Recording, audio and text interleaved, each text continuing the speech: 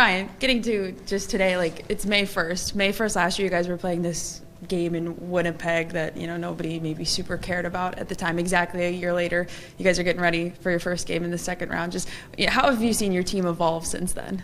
Yeah, I mean, I think I mean we have a lot of the same guys from last year. Um, we were close last year, but I think this extra year uh, brought us a lot closer together.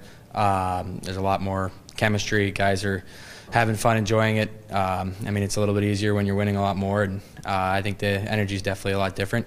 Uh, we had a lot of fun last year, but it's just it's a different atmosphere this year, and I'm really looking forward to this next round.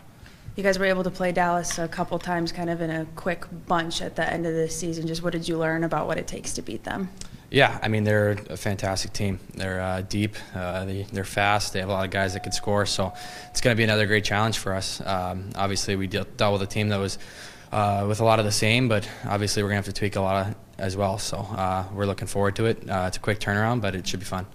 Their goaltender and Jake Oettinger has been one of the best in the playoffs. Just what's the best way to get that shot volume up as much as you can against him? Yeah, I just think, I mean, taking every chance you can get, right? Uh, not trying to make that extra play, getting pucks to the net, uh, making them play defense. Obviously, they have a lot of good high-end offensive guys, uh, limiting their chances and just playing a simple game.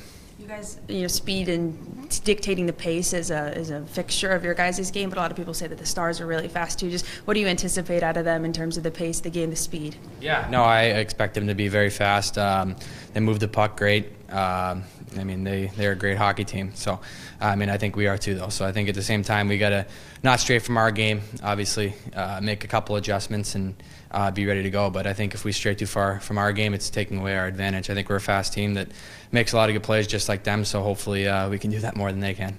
Last game, obviously it's a completely different team. It's you know you turn the page, but you guys were able to keep the game at five on five a lot of the time. How much of an asset is that to you guys since you're strong there? Yeah, that's huge. I mean, uh, especially against last series against such a great power play. Um, but I mean, I think uh, any team is going to be better at five on five than they are five on four, right? So uh, for us, we just got to stay out of the box and uh, play, make the right penalties at the right times. Don't try and take too uh, too many, move our feet, uh, do the right things, and I think uh, everything will pay off.